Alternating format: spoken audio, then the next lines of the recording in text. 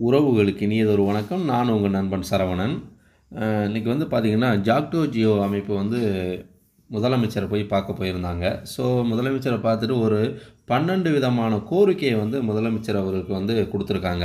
So அது என்னன்னு பார்த்தீங்கன்னா இப்போ ஒன்று நான்கு ரெண்டாயிரத்தி பதிமூன்றுக்கு பிறகு அரசு பணியில் சேர்ந்தோருக்கு தற்போது நடைமுறைப்படுத்தப்படும் பங்களிப்புடன் கூடிய ஓய்வூதிய திட்டத்தினை கைவிட்டு பழைய ஓய்வூதிய திட்டத்தையே அமல்படுத்த வேண்டும் அப்படிங்கிற சொல்லியிருக்காங்க.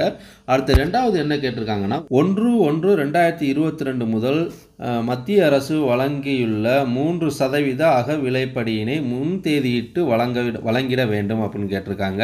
அடுத்து மூன்றாவது என்ன சொல்லியிருக்காங்கன்னா முத்தமிழ் அறிஞர் டாக்டர் கலைஞர் அவர்களால் நடைமுறைப்படுத்தப்பட்டு தற்போது கால வரையின்றி முடக்கப்பட்டுள்ள சரண் விடுப்பினை வழங்கிட வேண்டும் அப்படின்னு கேட்டிருக்காங்க. அடுத்து நாலாவது என்ன கேட்டிருக்காங்கன்னா இடைநிலை ஆசிரியர்களுக்கும் உயர்நிலை பள்ளி தலைமை ஆசிரியர்களுக்கும் மத்திய அரசுக்கு இணையாக ஊதியம் வழங்கப்படாமல் இ- இழைக்கப்பட்டு வரும் அநீதி களையப்பட வேண்டும் அப்படின்னு கேட்டிருக்காங்க. ஸோ மத்திய அரசுக்கு இணையாக வந்து இடைநிலை ஆசிரியருக்கும் உயர்நிலை பள்ளி தலைமை ஆசிரியருக்கும் வழங்கும்னு சொல்லியிருக்காங்க.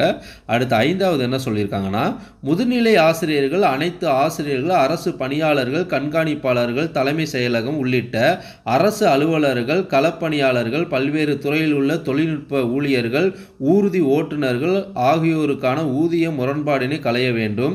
கல்லூரி பேராசிரியர்களுக்கான நிலுவையில் உள்ள பணி மேம்பாடு உடனடியாக வழங்கிட வேண்டும். மேலும் உயர்நிலை மேல்நிலை பள்ளிகளில் பணிபுரியும் இடைநிலை ஆசிரியர்களை பட்டதாரி ஆசிரியராக உட்படுத்த வேண்டும் அப்படின்னு கேட்டிருக்காங்க. அதாவது மேல்நிலை இடைநிலை பள்ளியில் வந்து பணிபுரியக்கூடிய இடைநிலை ஆசிரியர் வந்து அவங்கள பட்டதாரி ஆசிரியர்களை உடனே உட்படுத்த வேண்டும் அப்படிங்கிற மாதிரி அந்த தகவலும் சொல்லியிருக்காங்க.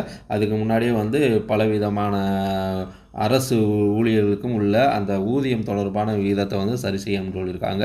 அடுத்து ஆறாவது என்ன சொல்லியிருக்காங்கன்னா சிறப்பு காலமுறை ஊதியம் பெற்று வரும் சத்துணவு அங்கன்வாடி வருவாய் கிராம உதவியாளர்கள் ஊராட்சி செயலாளர்கள் ஊர்ப்புற நூலகங்கள் கல்வித்துறையில் பணியாற்றும் துப்புரவு பணியாளர்கள் தொகுப்பூதியத்தில் பணியாற்றும் பகுதி நேர சிறப்பு ஆசிரியர்கள் செவிலியர்கள் பல்நோக்கு மருத்துவமனை பணியாளர்கள் ஆகியோருக்கு வரையறுக்கப்பட்ட ஊதியம் வழங்கப்பட வேண்டும் அப்படின்னு கேட்டிருக்காங்க.